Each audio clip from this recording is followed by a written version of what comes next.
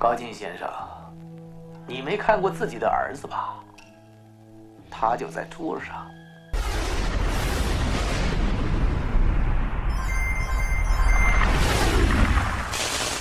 我找你挑战有一年多了，但是你从来不给我面子。到台湾来跟我赌一场，我以我的命下赌注，不然你会遗憾终生。